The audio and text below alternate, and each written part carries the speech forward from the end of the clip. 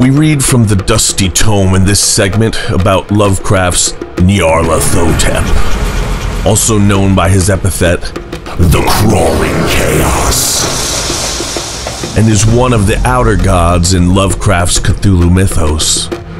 In this short piece, which is more of a prose poem than a short story, Nyarlathotep makes his very first appearance. Nyarlathotep is the spawn of another of Lovecraft's outer gods of the mythos, named Azathoth. Nyarlathotep acts as the outer god's, quote, soul and messenger. Although short, this piece is pivotal to Lovecraft's Cthulhu mythos. So let's get right to it and dive into the cosmic seriousness that is Nyarlathotep. I'll see you on the other side.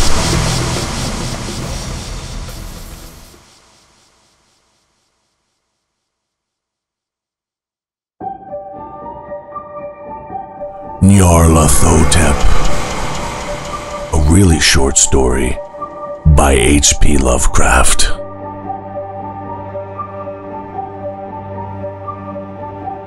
Nyarlathotep, the crawling chaos. I am the last. I will tell the Audient Void.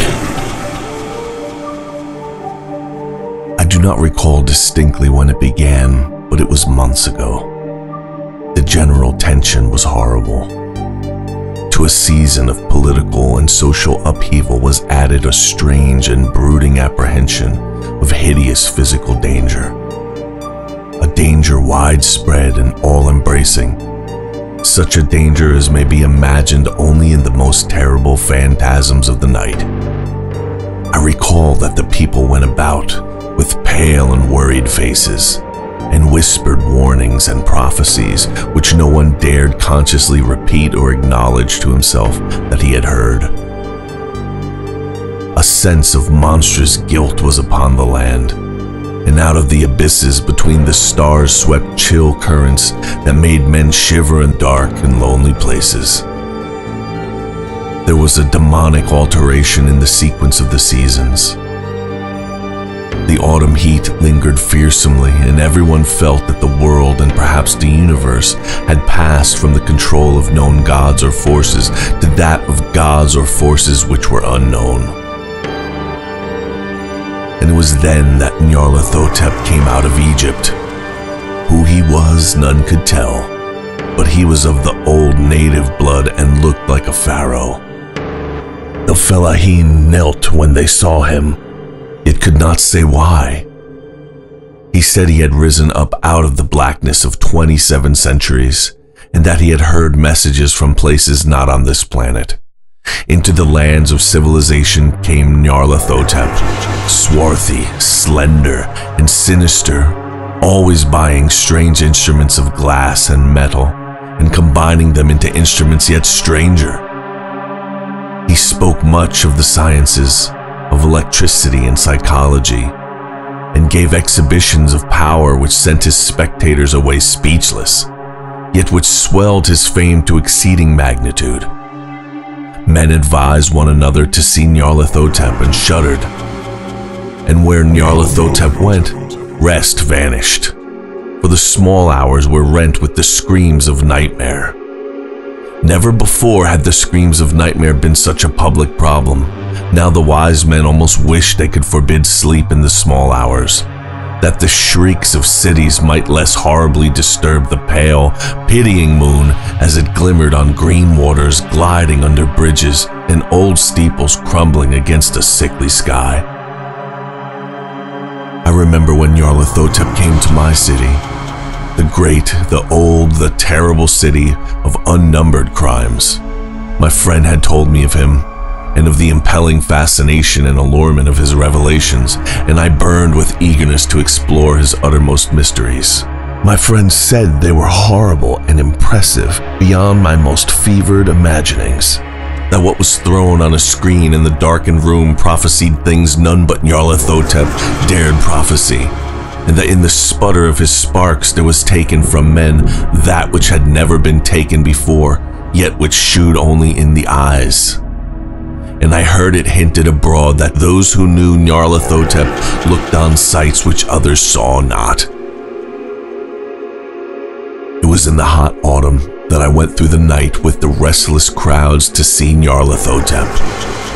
Through the stifling night and up the endless stairs into the choking room, and shadowed on a screen, I saw hooded forms amidst ruins and yellow evil faces peering from behind fallen monuments.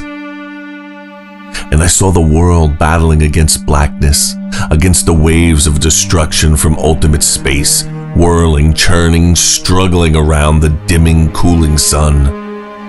Then the sparks played amazingly around the heads of the spectators, and hair stood up on end while shadows, more grotesque than I can tell, came out and squatted on the heads. And when I, who was colder and more scientific than the rest, mumbled a trembling protest about imposture and static electricity, Nyarlathotep drave us all out, down the dizzy stairs into the damp, hot, deserted midnight streets. I screamed aloud that I was not afraid, that I never could be afraid, and others screamed with me for solace. We swear to one another that the city was exactly the same and still alive, and when the electric lights began to fade, we cursed the company over and over again and laughed at the queer faces we made. I believe we felt something coming down from the greenish moon for when we began to depend on its light, we drifted into curious, involuntary formations and seemed to know our destinations, though we dared not think of them. Once we looked at the pavement and found the blocks loose and displaced by grass, with scarce a line of rusted metal to shew where the tramways had run. And again we saw a tramcar, lone, windowless, dilapidated, and almost on its side. When we gazed around the horizon, we could not find the third tower by the river, and noticed that the silhouette of the second tower was ragged at the top. Then we split up into narrow columns, each of which seemed drawn in a different direction. One disappeared in a narrow alley to the left, leaving only the echo of a shocking moan. Another filed down a weed choked subway entrance, howling with a laughter that was mad. My own column was sucked toward the open country and presently felt the chill which was not of the hot autumn. For as we stalked out on the dark moor, we beheld around us the hellish moon glitter of evil snows. Trackless, inexplicable snows swept asunder in one direction only, where lay a gulf all the blacker for its glittering walls. The column seemed very thin indeed as it plodded dreamily into the gulf. I lingered behind, for the black rift in the green litten snow was frightful, and I thought I had heard the reverberations of a disquieting wail as my companions vanished. But my power to linger was slight. As if beckoned by those who had gone before, I half floated between the titanic snowdrifts, quivering and afraid into the sightless vortex of the unimaginable screamingly sentient, dumbly delirious, only the gods that were can tell. A sickened, sensitive shadow writhing in hands that are not hands, and whirled blindly past ghastly midnights of rotting creation, corpses of dead worlds with sores that were cities, charnel winds that brushed the pallid stars and make them flicker low.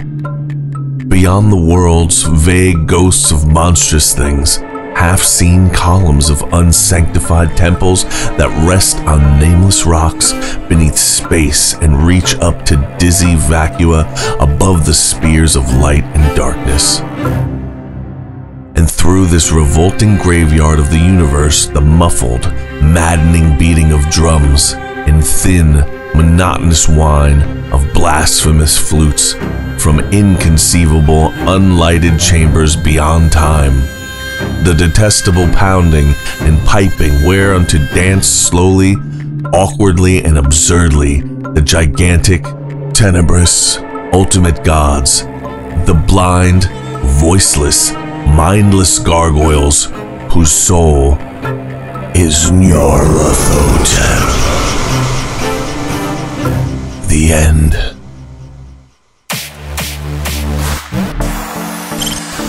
Oh, wow. That one was different.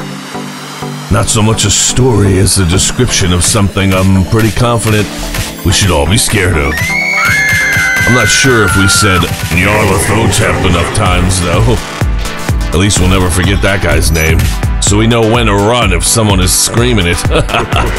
Hope you guys had a great time. Don't forget to like and sub and turn on notifications if you enjoyed the story. We'll see you next time when we crack open the Dusty Tome.